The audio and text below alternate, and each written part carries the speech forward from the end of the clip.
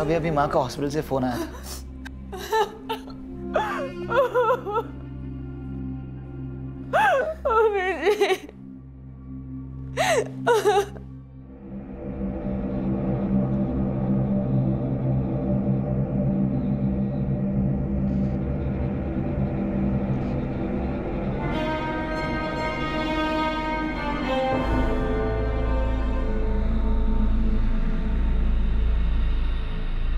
किसी तेज धार वाले चाकू से काटा गया है।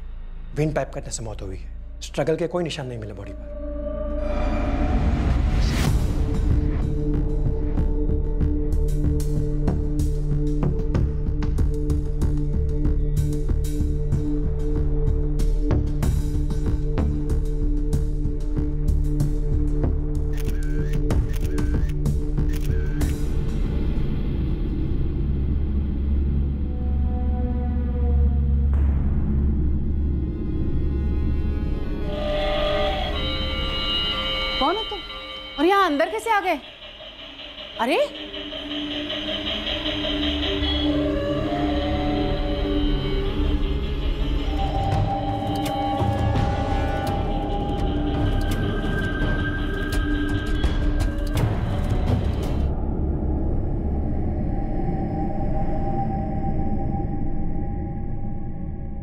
क्या यश ने खूनी को देखा था?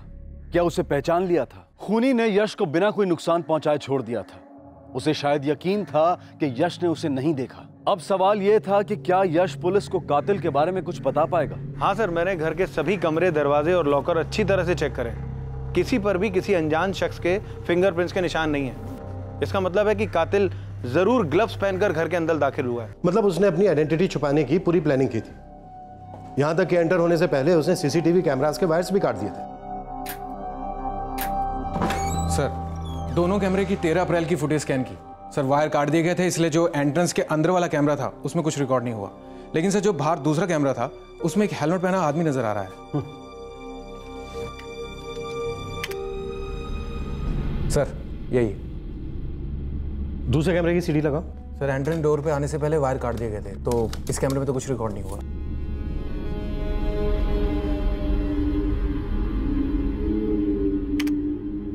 घर का दरवाज़ा पहले से खुला था। सर इस गलती ने कातिल का काम बहुत आसान कर दिया। ये गलती गलती से हुई है या फिर जानबूझ कर की गई कभी कभी बड़े बड़े घरों में बड़े राज छुपे होते हैं। अपने खबरों से कहो कि अग्रवाल फैमिली की पूरी हिस्ट्री निकाले। क्या सर। सर कल प्रियंका ने जिस शख्स का ज़िक्र किया था हरी मिश्रा जो उनका नौकर है जो कि तीन दिन पहले काम छोड़ के गया था उसका नंबर स्विच ऑफ़ आ रहा है। हरी के मोबाइल की डिटेल्स निकालो। Yes sir. सक्सेना ये इत्तेफाक तो नहीं हो सकता। घर का नौकर काम छोड़ता है और उसके काम छोड़ने के कुछ दिन बाद ही यह हादसा हो जाता है। हरी के नौकरी छोड़ने की वजह और इस वारदात के बीच कहीं कोई कनेक्शन तो नहीं है?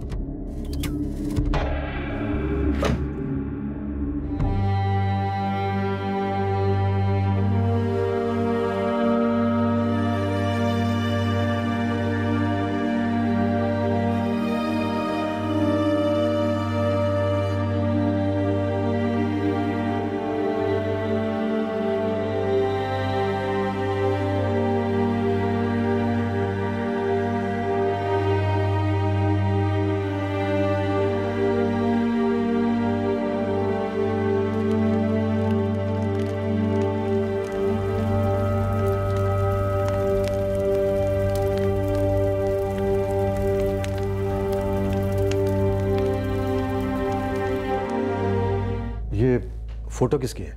ये मेरे हस्बैंड कार्तिक है। दो साल पहले हार्ट अटैक से इनकी डेथ हो गई। कल आप अपने नौकर हरी के बारे में बता रही थी। काम क्यों छोड़ा था उसने? जी वो बहुत गुस्से में था। खासकर मम्मी जी से। कितना? दस हज़ार। छह हज़ार से सीधा दस हज़ार? अरे एक बार में इतनी तनख्वाह कोई बढ़ाता है क्या? माँ जी हमारे बहन की शादी है। और आप तो जानती हैं शादी में कितना खर्चा आता है। हर घर में शादी होती है। ये कोई वजह है पगार बढ़ाने की? आज तुम्हारी बहन की शादी। कल को तुम्हारी होगी। तुम फिर कहोगे पगार बढ़ाओ। नहीं माँ जी माँ कसम बस इस बार हमारा पैसा बढ़ा दीजिए। हम पूरे साल पैसा बढ़ाने का नाम नहीं लेंगे। माँ जी वो छः हज़ार रुपये में हमारा गुजारा हो नहीं पाता है। और हम खाना बनाते हैं झाड़ू बर्तन करते हैं कपड़ा धोते हैं बाहर से सामान भी लाते हैं। तो इस हिसाब से छः हज़ार बहुत कम है।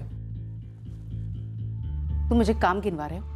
मैं गिनवाऊं? तुम यहाँ पे रहते हो खाते पीते हो। उसके कम से कम आठ से दस हज़ार लगते हैं। ऊपर से छह हज़ार की पगार। कुल मिला के पंद्रह हज़ार खर्च होते तुम पर। मैंने कभी गिनवाए? माँ जी बहुत ज़रूरत है हमको। ज़िम्मेदारी है हमारे कंधे पे। तुम्हारी जिम्मेदारियाँ उठाने का ठेका मैंने नहीं लेके रखा है। ये गलत बात है हरी। अच्छा माँ जी आप हमारा तनख्वाह मत बढ़ाइए। बस हमको छह महीने का तनख्वाह एडवांस दे दीजिए हमारे बहन की शादी हो जाएगी। बात वही हो गई ना। कान यहाँ से पकड़ो या वहाँ से। देखो तुम्हें हर महीने में एक तारीख को तुम्हारी तनख्वाह मिल जाती है ना? जी। आइंदा से तनख्वाह बढ़ाने की या एडवांस की बात नहीं करना। जाओ अपना काम करो। दीदी आप भी माँ जी से बात कीजिए ना। मम्मी जी से? ना पापा ना। मैं बात नहीं कर सकती। दीदी हम बहुत परेशान हैं। आप ही हमारी मदद कर सकती हैं। हरी मैं तुम्हारी कोई मदद नहीं कर सकती। तुम जानते हो ना मम्मी जी को? मम्मी जी ने जो एक बार ठान लिया सो ठान लिया। साहब हम कह रहे थे कि हमारा तनख्वाह बढ़ा दीजिए। अरे सुबह हमारी बात हो गई ना फिर साहब को परेशान क्यों कर रहे हो? माफ़ कीजिएगा माँ जी पर हम बहुत परेशान हैं। हमको पैसे की बहुत ज़रूरत है। साहब साहब हम हाथ जोड़ रहे हैं। अब आप कुछ कीजिए। अरे ये सब नाटक मत कर। लक्ष्मी ने जो कह दिया वो सही है। हाँ साहब पर हम माँ जी से बात किए थे वो समझ ही नहीं रही हैं। ये सब रोने धोने का नाटक मेरे सामने बंद कर। तू क्या समझता है? ये सब करके लक्ष्मी के खिलाफ तू मुझे भड़का लेगा? हमारी इतनी औकात कहाँ साहब? हम तो बस हाथ जोड़ के विनती कर रहे हैं कि हमारा पैसा बढ़ा दीजिए। बस हो गया हरी। जाओ यहाँ से। माँ जी ये गलत है। हम साल भर से आपकी सेवा कर रहे हैं। मर मर के काम करते हैं कोई दिन छुट्टी भी नहीं लिए। और आज थोड़ा सा पैसा बढ़ाने का नाम लिए तो आप लोगों को लगा एक दूसरे के खिलाफ भड़का रहे हैं। आवाज़ नीचे। तुम्हें एक बार कहा ना कि पगार नहीं बढ़ेगी। हाँ तो हमको भी यहाँ काम नहीं करना है। जा रहे हैं हम यहाँ से। तुझे जाना है ना? जा। किसने रोका है तुझे? लोग काम पाने के लिए तरसते हैं। तेरे पास तो अच्छा खासा काम भी है। फिर भी तुझे समझ में नहीं आ रहा है। और क्या चाहिए तुझे? सब कुछ तो है यहाँ पे। फिर भी तू नाटक करके और ज़्यादा पैसा हटने की कोशिश कर रहा है। पैसा इठने की कोशिश? साहब हम यहाँ हाथ जोड़ के आप लोगों से विनती कर रहे हैं। और आपको लग रहा है हम पैसा इठने की कोशिश कर रहे हैं? जा रहे हैं हम यहाँ से। पर एक बात कहेंगे भुगतना पड़ेगा आपको। अपने कंजूसी का अपने घमंड का बहुत भारी कीमत चुकाएँगे आप। जाओ। दफ़ा हो जाओ यहाँ से।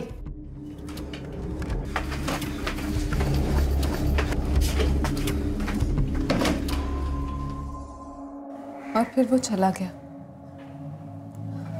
हम नया नौकर ढूंढ ही रहे थे। तब तक सारे घर का काम मैं ही संभालती थी। वो जाते जाते धमकी देकर गया था। जी सर। मैंने कभी भी हरी को इससे पहले इतना गुस्सा होते कभी नहीं देखा। इस वक्त उसका फ़ोन स्विच ऑफ़ है। उसके गाँव का एड्रेस या उसके किसी दोस्त का नंबर होगा आपके पास? जी नहीं। सर एक्चुअली हरी पहले हमारे घर पे काम करता था। मौसी के यहाँ ज़रूरत थी इसलिए हमने उसे यहीं भेज दिया था। और आपके यहाँ किसने भेजा था? मैं कुछ सामान खरीदने मार्केट गई हुई थी।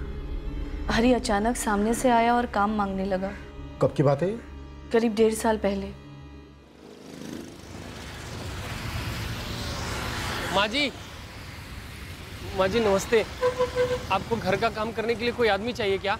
हम घर का सारा काम कर लेते हैं खाना बनाना कपड़ा धोना झाड़ू बर्तन सब कुछ। तुम्हारा नाम क्या है? हमारा नाम हरी मिश्रा है। हम यूपी के रहने वाले हैं। माँ जी हम बहुत ईमानदारी से काम करेंगे। आप चाहें तो दो दिन काम करा के देख लीजिए। हम कोई शिकायत का मौका नहीं देंगे। हमारा नौकर बंसी उस वक्त गाँव गया हुआ था। हमें नौकर की ज़रूरत थी। हरी खुद सामने से आया। उसे देखने और उसके बातचीत से वो ठीक लगा। इसीलिए हमने उसे काम पर रख लिया। और वो काम में अच्छा था। सर एक्चुअली उस वक्त लक्ष्मी मौसी को भी फुल टाइम नौकर की तलाश थी। तो जब बंसी वापस गाँव से लौटा तो हमने हरी को यहाँ भेज दिया उनके पास। हरी के काम से या उसके बर्ताव से कभी आपको कोई शिकायत हुई? बिल्कुल नहीं सर। वो अपने काम में बहुत मेहनती था और जहाँ तक मुझे याद है यामिनी दीदी को भी उसका काम पसंद था। इसीलिए जब उन्होंने बताया कि हरी काम छोड़ कर गया है और धमकी दी है मुझे बहुत अजीब लगा। मुझे भी अंदाज़ा नहीं था सर कि बात इतनी बढ़ जाएगी। हरी यूपी में कहाँ से है? शायद अलाहाबाद से। इलाहाबाद में उसका परिवार रहता है। उसके बाप उसकी माँ और उसकी बहन जिस बहन की शादी के लिए वो पैसे मांग रहा था। प्रियंका जी यश की हालत कैसी है अभी? अभी भी बहुत डरा हुआ है। हम बात कर सकते हैं उससे? हेलो यश बेटा। बहुत अच्छा रूम है आपका। एक बात बोलूँ? आप ना बहुत ब्रेव हो। स्ट्रॉन्ग बॉय है ना? अच्छा बेटा मुझे ना आपकी एक हेल्प चाहिए। उस दिन जो आदमी था हेलमेट पहने हुए आपने उसका चेहरा देखा था? या पहले कभी देखा था उसे? यश अंकल कुछ पूछ रहे हैं ना? बेटा जवाब दो मैं समझ गया। आज यश इस बारे में बात करने के मूड में नहीं है। पर कोई बात नहीं बेटा। जब आपका मूड होगा हम तब बात कर लेंगे। उस आदमी ने आपको बाथरूम में बंद कर दिया था और डराया भी होगा। लेकिन अभी आपको डरने की ज़रूरत नहीं है। अब ना हम उसे डराएँगे। ठीक है? तिजोरी की चाबी हमेशा लक्ष्मी के पास ही रहती थी। वही देखती थी सब कुछ। उसी का तो था ये सब। अब अगर ज्वेलरी सब मिल भी गया तो क्या फ़ायदा? लेकिन ये हमारे लिए जानना बहुत ज़रूरी है। कुछ तो अंदाज़ा होगा आपको कि लॉकर में कितना कैश था कितनी ज्वेलरी थी? करीब दस पंद्रह लाख की ज्वेलरी थी और पाँच लाख के आसपास कैश था। सर हरी ने जो सिम कार्ड खरीदा था उस पे एड्रेस लक्ष्मी अग्रवाल के घर का ही है। हमने प्रियंका से ही बात की। उनको कहना है कि वो फ़ोन उन्होंने हरी को खरीद के दिया था और जिस दिन वो काम छोड़ के गया वो फ़ोन भी अपने साथ ले गया था। हरी के कॉल रिकॉर्ड से कुछ पता चला? सर पिछले एक महीने की फ़ोन रिकॉर्ड्स में हरी ने सबसे ज़्यादा बातें इलाहाबाद में अपने पिता ओम प्रकाश मिश्रा से की हैं। हरी अपनी बहन की शादी को लेकर बहुत टेंशन में था। हो सकता है वो पैसे लेकर वहीं भाग गया। हरी के पिता को फ़ोन मत करना। अचानक जा पहुँचेंगे। हो सकता है हरी हमें वहीं मिल जाए। सर ज्वेलरी भी चोरी हुई है और हरी को पैसे की ज़रूरत थी। अगर हरी गाँव नहीं गया और यहीं पे है तो वो ज्वेलरी बेचने की कोशिश ज़रूर करेगा। अपने खबरियों से कहो कि जो ज्वेलर्स लूट के माल में डील करते हैं उन पर नज़र रखें। Yes sir. मुझे लगता है कि यश खूनी को अच्छी तरह से पहचानता है। तभी वो इतना ज़्यादा डरा हुआ है। कुछ बोल नहीं पा रहा ये केस जितना सिंपल लग रहा है ना, उतना है नहीं। अगर हरी इसमें इन्वॉल्व है तो वो अकेला नहीं है। कोई और भी है जिसने उसका साथ दिया।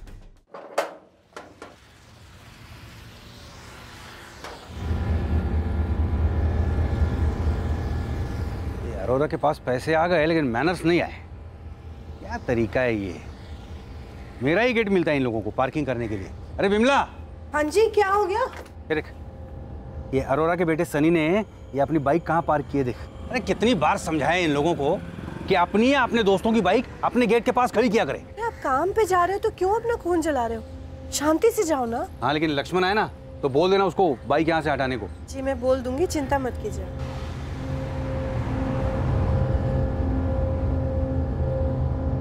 हरी मिश्रा इस केस का प्राइम सस्पेक्ट था। उसके पास खून करने का मोटिव था और उसका फ़ोन स्विच ऑफ़ होना पुलिस के शक को और पुख्ता कर रहा था। हरी उस घर में एक साल से काम कर रहा था। उस घर के चप्पे चप्पे से वाकिफ था। कब कहाँ कैसे क्या मिलेगा ये वो बखूबी जानता था। और पुलिस हरी की तलाश में अलाहाबाद के लिए निकल चुकी थी। नहीं नहीं साहब। हमारा हरी ऐसा कर ही नहीं सकता। हम अपने बेटे को अच्छी तरह से जानते हैं। इतनी अच्छी तरह से जानते हो तो फिर ये भी जानते होगे कि हरी इस वक्त कहाँ है। चार दिन से उससे हमारी कोई बात नहीं हुई है। उसका फ़ोन भी बंद है। हमें तो आपसे ही पता चला कि उसने नौकरी छोड़ दी। हमने तो सोचा था कि जानवी की शादी के लिए कैसे भी करके एक पैसा इकट्ठा करके ही रहेगा। शायद आपके बेटे हरी ने भी ऐसा ही सोचा। जब उधार मांगने पर उसकी मालकिन ने उसे पैसे नहीं दिए तो उसने नौकरी छोड़ दी। अपनी मालकिन का खून करके 10 से 15 लाख के जेवर और चार से 5 लाख रुपए कैश लेकर फरार हो गया नहीं नहीं साहब हमारा हरी ऐसा नहीं कर सकता। हम उसे अच्छी तरह से जानते हैं। अगर उसने ऐसा कुछ नहीं किया है तो फिर वो अपना फ़ोन बंद करके क्यों बैठा है? आप लोगों से बात क्यों नहीं कर रहे? मेरे भैया ऐसा कर ही नहीं सकते हैं। आपको अगर विश्वास ना हो तो जाइए उन लोग से पूछिए जहाँ भैया पहले काम करते थे। हरी जिस हालात में था क्राइम का खाता अक्सर ऐसे ही हालातों में खुलता है। किसी चीज़ के ना मिल पाने का मला पता नहीं कब आक्रोश बनकर फट पड़ता है। इंसान वो कर बैठता है जो उसे नहीं करना चाहिए था। इस बीच हरी अगर आप लोगों से कांटेक्ट करता है तो कुछ भी छुपाइएगा नहीं। तुरंत हमें बताइए।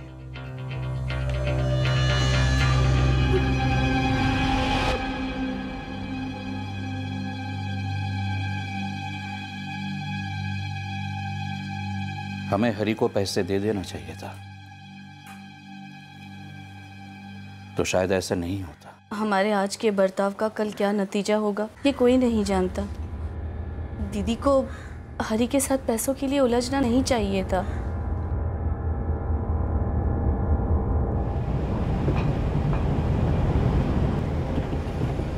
और बिमला तूने लक्ष्मण से कहा नहीं बाइक यहाँ से हटाने को? मेरे दिमाग से ही निकल गया। और आप भी क्या रोज रोज एक ही बात के लिए अपना बीपी हाई करते रहते हैं? गेट खुल तो जाता है हमारा। एक दिन ना इसके दोनों टायर की हवा निकाल के सारे पुर्जे अलग करके जाके कबाड़ी में बेच के आऊँगा बाइक तब जाके समझेंगे ये लोग।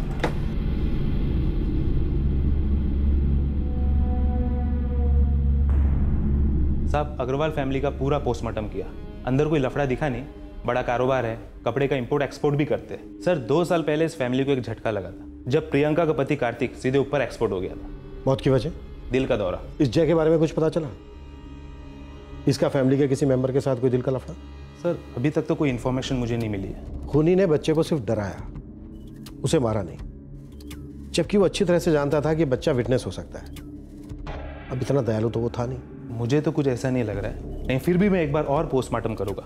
और जहाँ मुझे कुछ पता चला, मैं आपको सीधे मिस कॉल कर दूँगा। यश बेटा?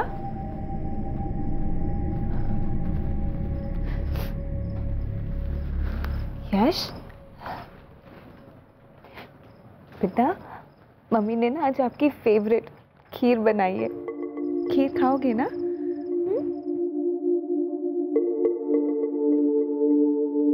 यश ऐसे डरते नहीं है।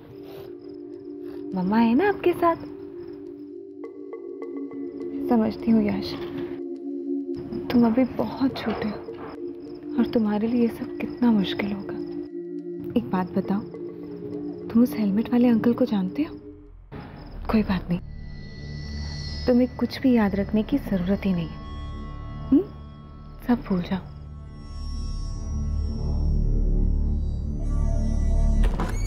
सर हरी की सेल डिटेल मिल गई है सर। तेरह अप्रैल को यानी कत्ल के दिन उसका फ़ोन शांतिगंज के आसपास ही था और उसका फ़ोन उसी एरिया में स्विच ऑफ़ भी हुआ था। हर कड़ी हरी को इस केस में और भी मजबूती से जोड़ रही है। मैंने हरी के पुराने मालिकों से बात की। सब उसकी बहुत तारीफ़ कर रहे थे। एक पल के लिए तो मैं भी सोचने लगा कि हरी हालात का मारा है। उसने किसी को नहीं मारा। पर मर्डर के दिन हरी के फ़ोन का उस एरिया में होना इसकी कोई और वजह हो ही नहीं सकती। राइट सर सर हरी के फ़ोन रिकॉर्ड्स में एक नंबर और है पंकज शर्मा का। हरी के घर छोड़ने के बाद उसका फ़ोन फिर से ऑन हुआ। सर एक बात और। हरी और पंकज की फ़ोन लोकेशन बिल्कुल सेम थी। प्रतीक मार्केट। और पंकज रहता भी उसी एरिया में।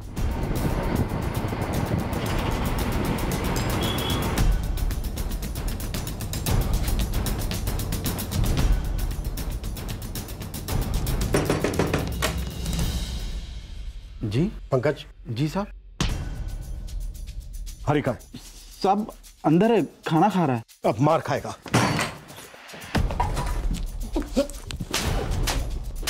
क्या हो गया साहब?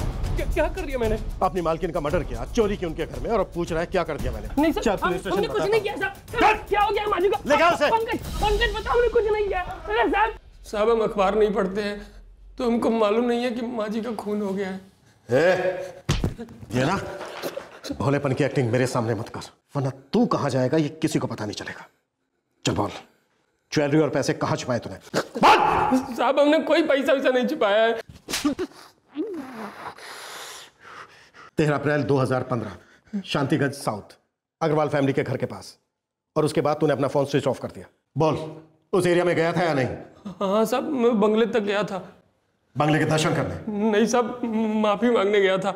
जब मैंने गुस्से में नौकरी छोड़ दी तो हमको ख्याल आया कि हमारी बहन की शादी है और हमारे पास पैसे नहीं होंगे तो शादी कैसे होगी?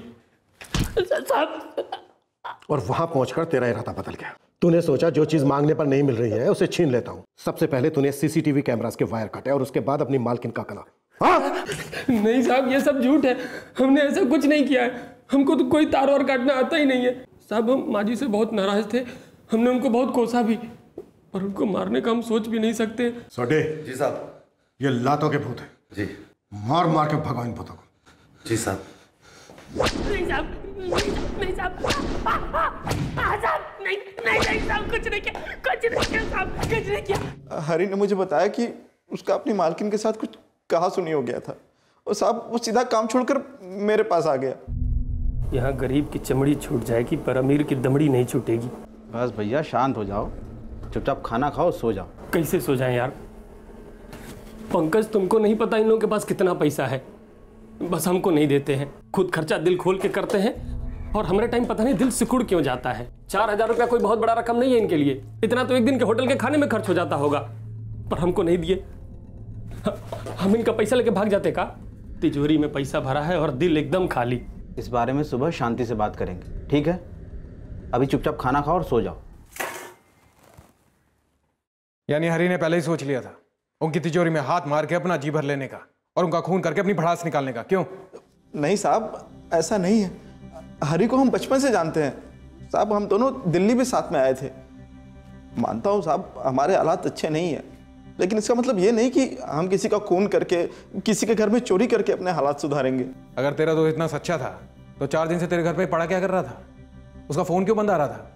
और कल वाले दिन को ही वो वापस वहाँ क्यों गया? हरी ने अगले दिन से ही दूसरा काम देखना शुरू कर दिया था। लेकिन दो तीन दिन घूमने के बाद भी उसे कोई काम नहीं मिला। वो खुद को ही कोसने लगा। उसे लगा शायद उसने गलती कर दी काम छोड़कर। और वो अपनी पुरानी मार्किन के पास माफ़ी मांगकर फिर से लग जाना चाहता था। इसीलिए वहाँ गया था साहब। और फ़ोन तो उसका खराब हो गया था। साहब जितना पीटना है पीट लो साहब। पर सच तो यह है कि हम माफ़ी मांगने गए थे। पर दरवाजे से लौट आए क्योंकि हिम्मत नहीं हो रही थी।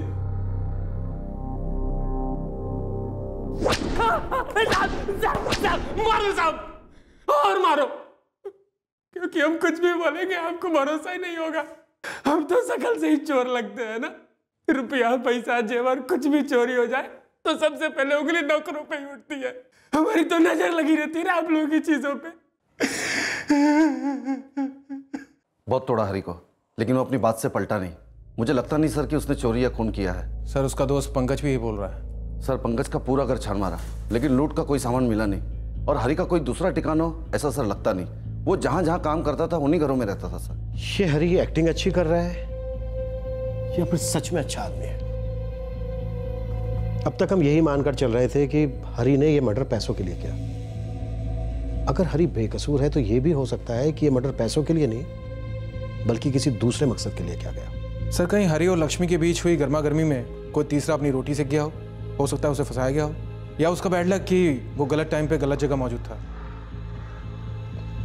क्या हरी को इस केस में फंसाया गया था? और अगर ऐसा था तो कातिल का मकसद क्या सिर्फ़ लूट ही था या कुछ और? काफ़ी पूछताछ के बाद भी हरी यही कहता रहा कि वो निर्दोष है और पुलिस के पास भी उसके खिलाफ कोई सबूत नहीं थे। सिवाय इसके कि कत्ल के दिन वो लक्ष्मी अग्रवाल के घर के आसपास ही था। क्या यह महज एक इत्तेफाक था? क्या कातिल हरी नहीं कोई और था? जल्द ही बहुत ही अजीबोगरीब ढंग से इन रहस्यों पर से पर्दा उठा। मिस्टर अरोड़ा आप अपने बेटे को समझाते क्यों नहीं है? वो और उसके दोस्त हमेशा मेरे गेट के सामने ही बाइक क्यों पार्क करते हैं? मिस्टर सिंह आप बेकार में बात बढ़ा रहे हैं। ना सन्नी ना उसका कोई दोस्त आपके घर के सामने गाड़ी पार्क करता है। तो ये किसकी बाइक है? अरे जरा पूछो अपने बेटे से किसकी बाइक है ये? क्या हो पापा बेटा ये बाइक तुम्हारे किसी दोस्त की है? नहीं पापा ये बाइक तो पिछले दो दिन से यहाँ खड़ी है। मुझे लगा इनके यहाँ कोई रिलेटिव आया होगा। ये ज़रूर तुम्हारे ही किसी दोस्त ने पार्क की है और चला गया यहाँ से। अंकल मेरा कोई दोस्त ना बिना नंबर प्लेट के बाइक नहीं चलाता।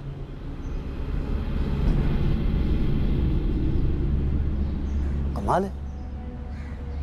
नंबर प्लेट निकाली गई है। ज़रूर किसी गलत काम के लिए इस्तेमाल की गई होगी। अंकल आप मुझे ऐसे क्यों देख रहे हो? कुछ नहीं। अब तो पुलिस आके देखेगी। अब आप चलिए।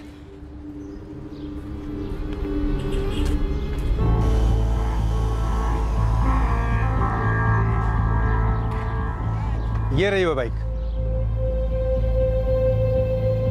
इस बाइक को पुलिस स्टेशन लेके जाते हैं।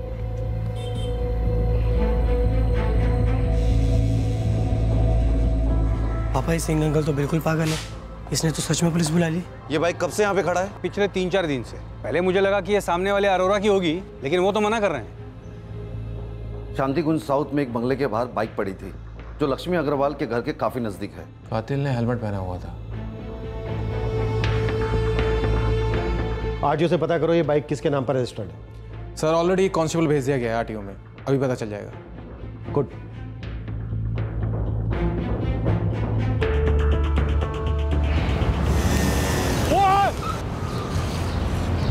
देख के नहीं चल सकता क्या? नींद में है क्या? बिना नंबर प्लेट की इस लावारिस बाइक ने, मानो इस केस की इन्वेस्टिगेशन को रफ्तार दे दी। जब बाइक की डिटेल्स आई तो पुलिस को इस लूट और मर्डर केस में एक अहम ब्रेक थ्रू मिला। सर, आरटीओ से डिटेल मिल गई है। बाइक किसी सागर खंडेलवाल के नाम पे रजिस्टर्ड है। शांतिगंज में रहता है।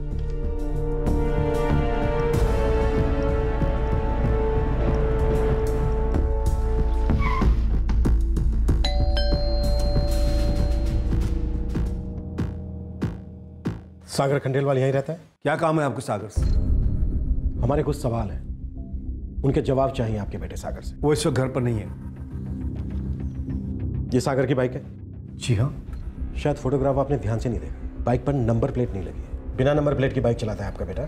जो भी बात है आप साफ़ साफ़ बताइए। हमें शक है कि आपका बेटा सागर लक्ष्मी अग्रवाल के मर्डर केस में इन्वॉल्व है। ये क्या कह रहे हैं आप?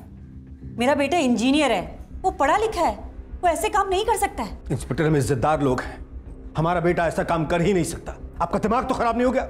आप जानते क्या कह रहे हैं आप?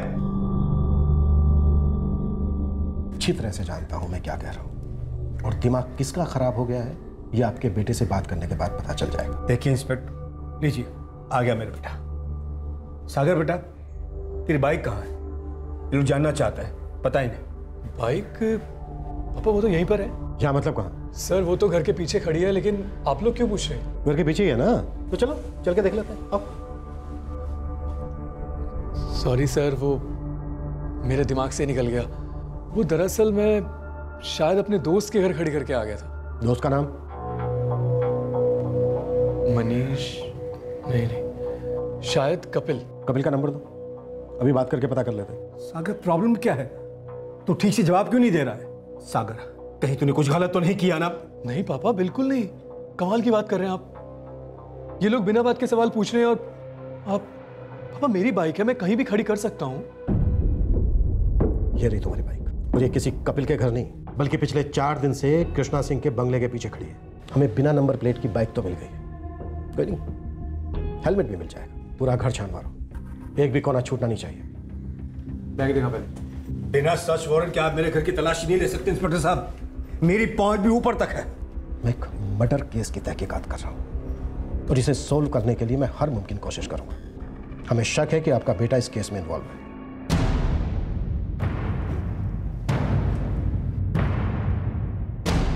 सर ये नंबर प्लेट्स और हेलमेट मिला है। मैं समझ सकता हूँ इस वक्त आप लोगों पर क्या बीत रही हो। उस घर के सीसीटीवी फुटेज से हमें पता चला कि कातिल ने हेलमेट पहना हुआ था। ये वही हेलमेट है। आपके बेटे की बाइक का बिना नंबर प्लेट के मिलना और इसके बाद से इतने सारे पैसे मिलना। इन सब बातों से यह साबित होता है कि आपका बेटा सागर लक्ष्मी अग्रवाल मर्डर केस में इन्वॉल्व है। चल। क्या? हाँ पुलिस ने सागर खंडेलवाल को गिरफ़्तार किया है। कब? आज सुबह। उसकी बाइक मिली है। इसी एरिया में किसी बंगले के बाहर पार्क थी। अच्छा ठीक है मैं बाद में बात करता हूँ।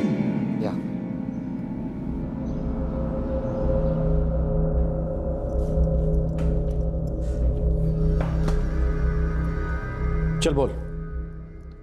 जो भी सच है बोल दे। अब चुप रहने से कोई फ़ायदा नहीं है सागर। अगर मैंने तेरा ये मौन व्रत तोड़वाया ना तो तेरा सब कुछ टूटेगा। एक भी अड्डी सही सलामत नहीं बचेगी। बोल।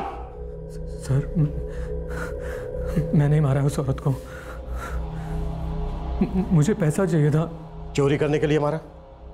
या फिर किसी ने पैसे दिए थे मर्डर करने के लिए? नहीं किसी ने पैसे नहीं दिए थे सर। बल्कि मुझे उनके पैसे चाहिए थे। उनके आलिशान बंगले को देख के मेरे मन में लालच आता था। जब भी उस बंगले के पास से गुजरता था मेरी नज़रें वहीं टिक जाती थी। अग्रवाल काफ़ी अमीर थे। हमेशा सोचता था कितना पैसा होगा इनके घर में। क्या शान की ज़िंदगी जीते थे वो लोग। तू भी कोई गरीब परिवार से नहीं है। खुद इंजीनियर है। फादर अच्छी पोस्ट में है तेरे। लेकिन पापा के पास हमेशा मुझे देने के लिए नसीहतें थी। पैसे कभी नहीं। मैं खुद का बिज़नेस करना चाहता था एंटिक्स का। मेरे दोस्त के फादर भी इसी लाइन में है। वो भी अग्रवाल से इतने अमीर हैं सर वो मेरी हेल्प करना चाहते थे लेकिन लेकिन सर इनिशियल इन्वेस्टमेंट की ज़रूरत थी। बेटा ये एंटिक के बिज़नेस का आइडिया तुम्हें कहाँ से आ गया? तुम इंजीनियर हो।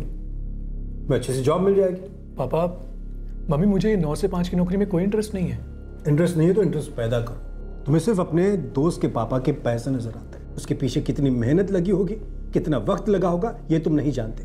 ऐसे जोश में आके बिज़नेस करना सरासर बेवकूफ़ी है। और ऐसी बेवकूफ़ी में मैं कभी इन्वेस्ट नहीं करूँगा। मैं जानता था। मैं कितना भी गिड़गिड़ाऊँगा, पापा नहीं मानेंगे। मुझे मुझे खुद ही कुछ करना होगा। और मैंने मन ही मन फैसला कर लिया था कि मुझे पैसा कहाँ से और कैसे लाना है।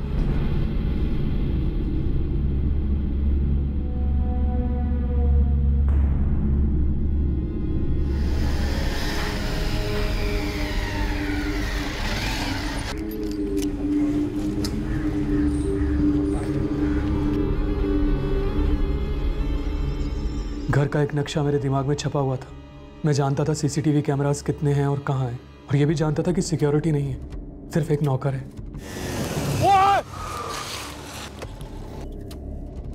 और जब पता चला कि उस नौकर ने काम छोड़ दिया है तो मुझे लगा यही सही मौका है, और इससे पहले कि कोई और दूसरा नौकर आ जाए, मुझे हर हाल में ये काम करना था।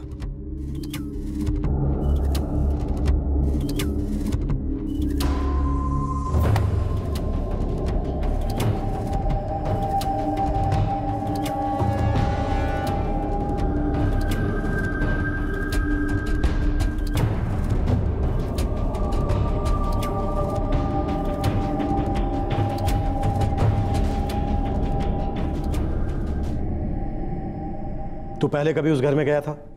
तिजोरी कहाँ है? ये तुझे पहले से पता था? नहीं। लेकिन इतने बड़े घर में तिजोरी होगी ये तो पता था। और उस तिजोरी में रुपया जेवर ये सब होगा ये भी पता था। बस सर ये अंदाज़ा नहीं था कि वो औरत वहीं बाहर के कमरे में बैठी होगी। कौन हो तुम? और अंदर कैसे आ गए? सर मेरा इरादा किसी को मारने का नहीं था। इसीलिए चाकू लेकर गया था? वो तो सेफ्टी के लिए लेकर गया था सर मैं किसी को मारना नहीं चाहता था। तू किसी भी तरह से पैसे हासिल करना चाहता था। उस वक्त तेरे और पैसों के बीच में जो भी आता तू उसे मार डालता जो कि तूने किया। नहीं सर मुझे लगा वो औरत चिल्लाएगी तो मेरे बिज़नेस का सारा प्लान खराब हो जाएगा। मैंने बच्चे को कुछ नहीं किया सिर्फ़ डराया। मुश्किल से कुछ बोल पा रहा है। मैंने बच्चे को कोई चोट नहीं पहुंचाई सर मैं तो बस ये चाहता था कि वो चुप रहे और मैं पैसा लेके आसानी से भाग सकूँ।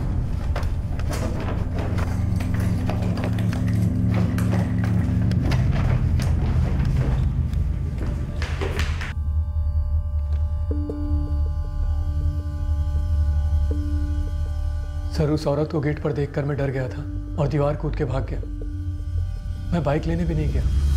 मुझे लगा जैसे ही हेलमेट वाली बात पता चलेगी तो सब लोग ये सोचेंगे कि हमला करने वाला बाइक पर ही आया था। तूने वाकई में ऐसा सोचा कि तू लूट के पैसों से अपना बिज़नेस खड़ा कर पाएगा?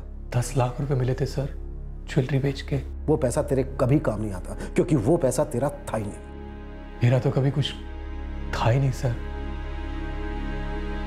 जो था वो भी कभी मेरे काम नहीं आया। यहाँ तक कि मेरे पापा भी नहीं। उनके पास पैसे तो थे, लेकिन मेरे लिए कुछ नहीं था। खुद पे तरस खाना, बहाने बनाना बंद कर सागर। अगर तेरे फादर तेरा सपोर्ट नहीं कर रहे थे तो खुद मेहनत करके अपना बिज़नेस खड़ा करता और दिखाता उनको एक सक्सेसफुल बिजनेसमैन बनकर।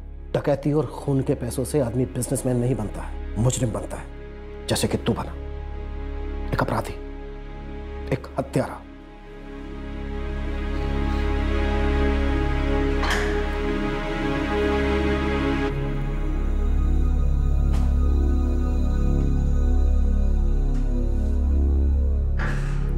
सॉरी हरी क्या करें? हालात ही कुछ ऐसे तो शुरू से ही हमारे खिलाफ रहे हम जैसों की ज़िंदगी तो हालात से लड़ने में ही खत्म हो जाती है। वरना पैसा कमाने का, बड़ा बनने का जुनून हमारे भीतर भी है। पर हम दूसरे के माल को पाने में अपना झोपड़ा नहीं जलाते। और साहब, हम क्या किसी का हक मारेंगे? हमें तो कई बार हमारे हक का ही पैसा नहीं मिलता। पर हमारी शिकायत कौन सुनता है? साहब, हम पे आरोप लगाना, हवालात में बंद करना कितना आसान है। और हम पे यकीन करना हमारी ज़रूरतों को समझना इतना मुश्किल। शायद तुम सही कह रहे हो।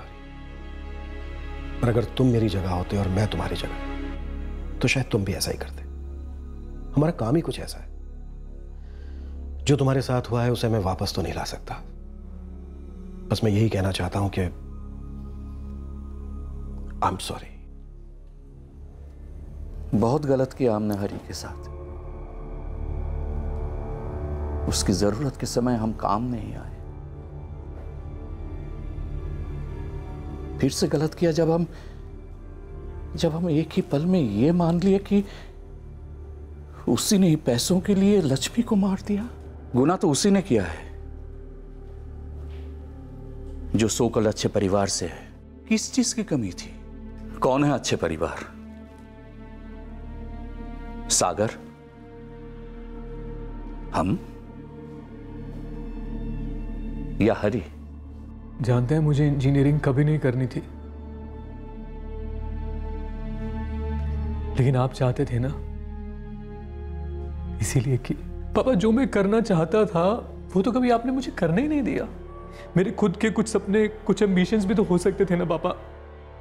बिज़नेस करना चाहता था और उसके लिए मुझे पैसे चाहिए थे। आपके पास नहीं आता तो कहाँ जाता? गलती मेरी ही है बेटा। मुझे तेरा साथ देना चाहिए था। लेकिन बेटा, पैसों के लिए तूने किसी को मार दिया। तेरे सपने किसी की ज़िंदगी से बड़े कैसे हो सकते हैं? सॉरी पापा। मुझसे बहुत बड़ी गलती हो गई। पापा, माँ, मेरे दिमाग में गंद घुस गया था।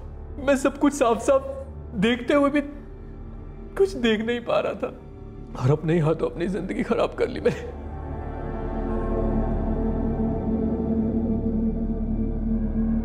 सागर को आईपीसी की धारा 302 के तहत हत्या के लिए और धारा तीन सौ चौरानवे के तहत डकैती को अंजाम देने के इरादे से किसी को जानबूझकर चोट पहुँचाने के लिए बुक किया गया है। हरी के लिए मौजूदा तनख्वाह में अपने परिवार की जरूरतें और बहन की शादी की ज़िम्मेदारी को निभा पाना मुश्किल हो रहा था। उसकी लाख बिनती के बावजूद भी उसकी तनख्वाह नहीं बढ़ाई गई और नाराज़गी में उसने काम छोड़ दिया। पर गुस्से में आकर अपने मालिकों को दी गई उसकी धमकी ने उसे इस केस में प्राइम सस्पेक्ट बना दिया, जबकि उसका इस जुर्म से कोई वास्ता नहीं था। सोच कर देखें कि अगर हरी की तनख्वाह बढ़ा दी गई होती तो उसकी मुश्किलें कितनी आसान हो जाती। अपने परिवार और अपनी बहन के प्रति जिम्मेदारियों को वो कितनी अच्छी तरह से निभा पाता। अगर और गहराई में जाएँ तो यकीनन 13 अप्रैल की सुबह को हरी घर पर ही होता। या शायद प्रियंका की जगह वो मार्केट गया होता तो उस सूरत में प्रियंका घर पर होती। अगर ऐसा कुछ भी हुआ होता तो शायद सागर अपने मंसूबों को आगे बढ़ाने की हिम्मत ही ना करता। यूँ होता तो क्या होता? आप कहेंगे कि यह सिर्फ़ एक ख्याल है मन को बहलाने का। आप में से कई ये दलील भी देंगे कि जो होना होता है, वो तो होकर ही रहता है।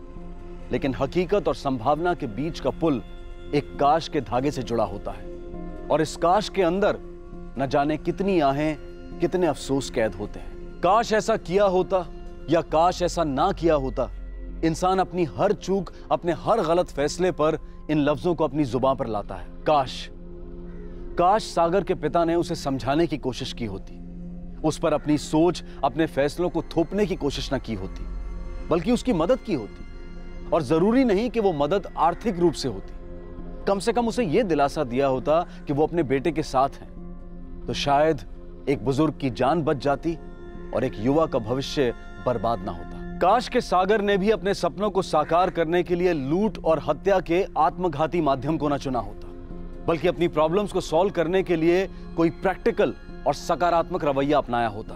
काश के उस धनी परिवार के बुज़ुर्ग ये समझते कि अगर वो अपने नौकर को कुछ सुविधाएँ दे रहे हैं तो वो कोई बड़ा एहसान नहीं कर रहे। अगर वो उसे रहने की जगह और दो वक्त का खाना दे रहे हैं तो उसका ये मतलब नहीं कि वो ये समझ लें कि अब उन्हें तनख्वाह देने या नियमित रूप से उस तनख्वाह में उचित इजाफा करने की ज़रूरत ही नहीं है। जिस हालात से, जिन तकलीफों से, जिन गमों से हम गुजरते हैं, दरअसल यही हमारे सबसे बड़े टीचर्स होते हैं जो हमें ज़िंदगी के अहम सबक सिखाते हैं। लेकिन क्या यह बेहतर नहीं होगा कि बार बार गिरकर सीखने की बजाय हम औरों की ज़िंदगी से भी सबक लें? किसी अपराध का हिस्सा बनकर सीखा गया सबक बेहद तकलीफ़ दे होता है, क्योंकि हमें हर कदम पर प्रतीत होता है कि हमने दस्तक सुनी थी बार बार सुनी थी कि क्राइम नेवर पेज, लेकिन सुनकर भी अनसुनी करती। हम उम्मीद करते हैं कि आप दूसरों के साथ हुए हादसों से सबक लेकर अपनी ज़िंदगी को गलत सोच, गलत संगत और गलत आदतों से दूर रखेंगे, और तभी इस कार्यक्रम के माध्यम से किया गया हमारा प्रयास सार्थक होगा। आपसे फिर मुलाकात होगी अगले एपिसोड में एक और नए केस के साथ। तब तक सतर्क रहें, सुरक्षित रहें और देखते रहें क्राइम पेट्रोल सतर्क। सबक एक को, सीख हम सबको जय हिंद।